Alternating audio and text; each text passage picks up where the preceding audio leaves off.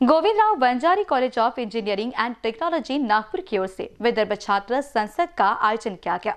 शहर के Govindrao Banjari college of engineering and technology की ओर से विदर्भ के सभी महाविद्यालय के छात्रों के लिए गत चार सालों से छात्र संसद का आयोजन किया जा रहा है। इस साल भी छात्र संसद 2020 का आयोजन देश पांडे सभागृह में आयोजित किया गया। इस संसद में शहर के साथ ही विदर्भ से महाविद्यालय के छात्र बड़ी संख्या में उपस्थित हुए थे। कार्यक्रम में राजकीय व्यक्ति उपस्थित रहकर उपस्थित छात्रों को संबोधित करते हैं। सोमवार को हुए इस कार्यक्रम में ऑल इंडिया महिला कांग्रेस की अध्यक्ष सुष्मिता देव, महिला व बाल कल्याण मंत्री बच्चू कडू, चारुलता टोकस, विधायक परिणीति शिंदे उपस्थित हुए थे। कार्यक्रम के शुभारंभ में कॉलेज संचालक अभिजीत पंजारी ने कार्यक्रम के बारे में जानकारी दी। सुवर्णाक्षरामध्ये लिहिण्यासारखं आहे। विद्यार्थ्यांना या ठिकाणी व्यतिरिक्त विद्यार्थ्यांचा सर्वांगीण विकास घडला पाहिजे. या दृष्टिकोनातून वंदारी साहेबांनी जी सुरुवात त्या काळामध्ये केली होती तोच वारसा देण्याचं आम्ही या ठिकाणी काम करतो आहे. आणि प्रत्येक कॉलेजमध्ये आमच्या संस्थेच्या प्रत्येक कॉलेजमध्ये आपला विद्यार्थी हा तयार झाला पाहिजे आणि आपल्या जीवनाच्या रेसमध्ये तो सोबत गेला पाहिजे अग्रेसर राहिला पाहिजे. या दृष्टिकोनातून अशा प्रकारच्या कार्यक्रमाचं आयोजन आम्ही सातत्याने करत असतो. कार्यक्रम में उपस्थित सुष्मिता देव व चारुलता टोकस ने उपस्थित छात्रों को मार्गदर्शन किया। तुमचे विचार तुम्हाला काय अपेक्षित आहे आणि आज जे काय होतंय मग ते राजकीय क्षेत्र असो सामाजिक क्षेत्र असो किंवा तुमचं फील्ड असो इंजिनिअरिंगचं मेडिकलचं तुम्हाला काय वाटतं? तुम्हाला काय अपेक्षित आहे? हे निर्भयपणे तुम्ही इथं मांडू शकता. आणि म्हणून मला असं वाटतं या संस्थेचे कितीही आभार मानले आणि कितीही कौतुक केलं तरी कमीच आहे की आज जेव्हा युवांचे जे विचार आहेत कुठेतरी त्यांना बंद करायचा एक प्रयत्न सुरू आहे. किंवा त्यांच्यावर कुठेतरी प्रेशर आणणं त्यांच्यावर कुठेतरी दबाव आणणं सुरू आहे. की ह्यांचे विचार सगळीकडे गेले नाही पाहिजे तेव्हा तुमच्यासारख्या संस्था ज्या आहेत असा एक मंच उपलब्ध करून देतोय विद्यार्थ्यांना. जिथे ते निर्भयपणे त्यांचे विचार मांडू शकते. आणि म्हणून सर्वप्रथम मी या संस्थेचे खूप खूप अभिनंदन करू इच्छिते. सगळे लोक शिक्षण देताना फक्त एका गोष्टीचा ब्रेन डेव्हलपमेंटचा विचार करतात. आमची संस्था आहे जी हार्ट डेव्हलपमेंटचा पण विचार करते हृदय डेव्हलपमेंटचा पण विचार करते. मला वाटतं ह्या हे जे शहर आहे हे शहर झिरो माईल आहे इथे. म्हणजे इथे हृदयस्थान आहे पूर्ण भारताचं. आणि ज्या हृदयस्थानातून निघालेला आवाज हा सगळ्या भारतामध्ये गुंजला पाहिजे. आणि युवा पिढीमध्ये फक्तच अकॅडमिक नव्हे तर त्यांनी नेतृत्व करायला पाहिजे. खेड्यापाड्यातून आलेले ही मुलं आहेत.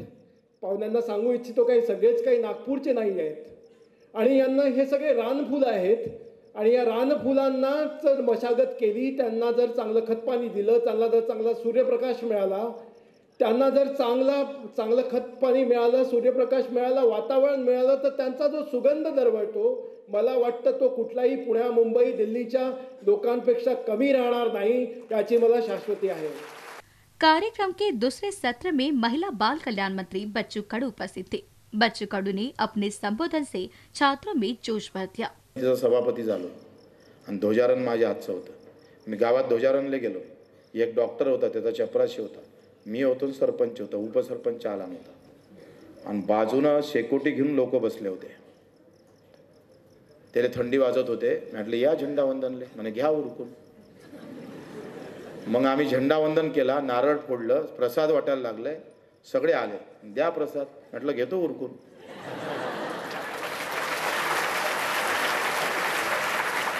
आता ही मानसिकताच झाली नाही कारण आम्हाला झेंड्यावर लढवलं.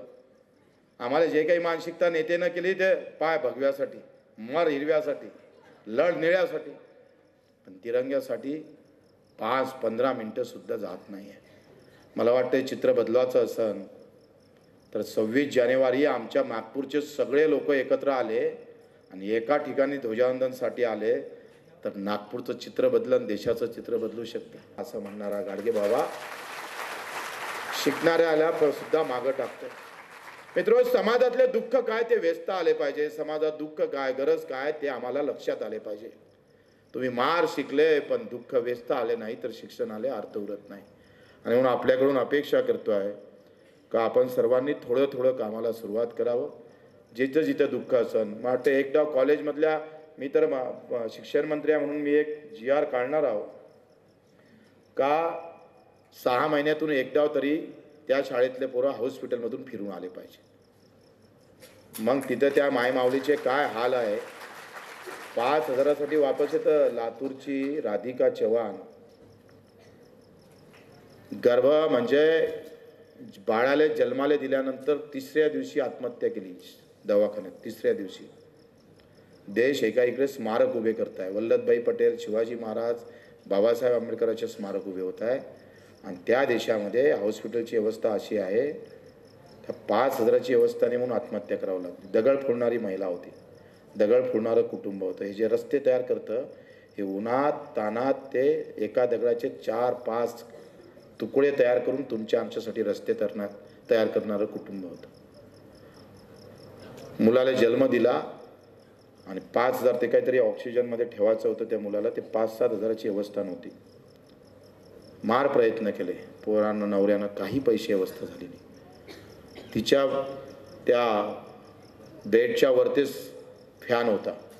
साडी घेतली आणि फॅनला अटकला आणि आत्महत्या करून ठेवली. देश कोणत्या अवस्थेमधून जात आहे आणि आम्ही काय करतोय याचं भान ठेवा. थोड्या थोड्या कारणासाठी आम्हाला लोकांना मरावं लागतं. एवढं जरी चित्र डोळ्यासमोर उभं केलं आणि आम्ही तसं वागायला सुरुवात केलं तर सरकार काय आणि आपण काय एक चांगला देश उभा राहू शकतं. एका इकडे स्मारक उभे करण्यापेक्षा मी सभागृहात बोललो होतो का शिवाजी महाराजचे स्मारक केल्यापेक्षा दहा या जिल्ह्यातले दहा जिल्ह्याचे जे आमचे सरकारी रुग्णालय त्याला स्मारक घोषित करा आणि तिथं सगळी व्यवस्था करा गरीब मेलानी पाहिजे. स्मारकाचं रूपांतर जर आम्ही हॉस्पिटलमध्ये केलं शाळेमध्ये केलं तर अतिशय विपरीत विषमता आम्ही पाहतोय आर्थिक व्यवस्थेची आर्थिक विषमता आहे. जातीवादाचं भांडण नाही आहे जातीचं भांडण नाही आहे देशामध्ये.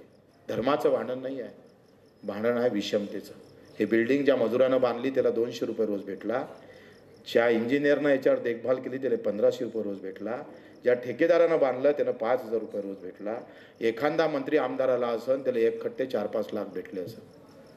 पण खरा कष्ट करणाऱ्या मजुराला दोनशे रुपयेच भेटले. एवढी मोठी विषमता आहे. कमी भेटले पाहिजे मान्य आहे पण एवढी गॅप दोनशे कुठं पंधराशे कुठं? कापूस पिकवतो आम्ही पण कापसाचा कापड झाला आणि कापसात याच्यात परिणाम पाहिलं तर लाखानं आहे. विषमता या समाजातल्या या सरकारमधली विषमता कुठं कुठं परिणामकारक ठरतं ते जाती आणि धर्मापेक्षाही भेदून टाकतं हे लक्षात घेतलं पाहिजे. आणि या गोष्टीकडे जेव्हा आमची तरुणाई पेटून उठत तेव्हा मित्रों आम्ही सांगतोय का जिस दिन आप साई बाबा मंदिर के वहाँ भी जाओ कोई हरकत नहीं. लेकिन जर हर हमारा तरुण युवक भगत सिंह को गांव में जाने वाला तैयार होगा तो फिर दुनिया की थोड़ा थोडी चित्र हम देखते व्यवस्था बदलते जाएंगी. आपल्याकडून अपेक्षा तेच करतो मित्र हो का आपण सर्व करताना धर्माचे झेंडे मंदिराचे झेंडे घेत असताना ते जरूर करा. मंदिरात जा मस्जिदीत जा पुतळ्यावर जा अधिक कुठं जा पण एक डाव मात्र आम्ही जेव्हा पाहतो का त्या तिरंग्याचे आम्ही पायिका असे सुद्धा समजून घ्या. मी एच यू पी एम म्हणजे शाळेमध्ये शेवटच्या टप्प्यात येतो H U P M camera person Rajkumar Mohad के साथ. अभिषेक पांसे की रिपोर्ट.